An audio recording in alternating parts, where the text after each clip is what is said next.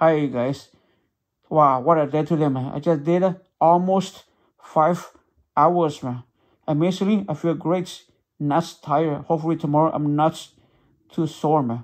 It's the most hours of physical exercise I have done since my infamous 12 straight hours since 2008, man. That day I rode bicycles from San Jose to Gilroy here in California, man to and back from Gilroy. That's 62 miles, man. Yeah, woo, I remember. Oh, my goodness. I was in so much pain, man, especially the last five miles.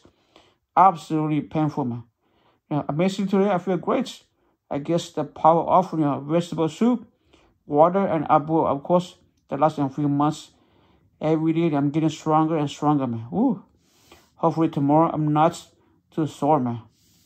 As you know, today I had some what's a heavy lunch, especially like chocolate cake, you know, and uh, noodles, of course, something that I had to eat, you know. But if I eat those things, I have to you do more exercise.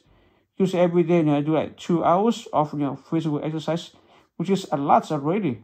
Especially I only eat vegetable soup, plus one apple you know, and uh, water, of course. That's it. Nothing else, just once per day, man.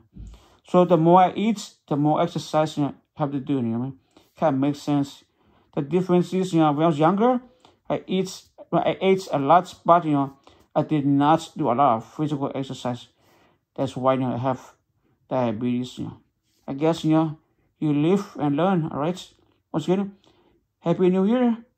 Thank you very much for watching. Good night.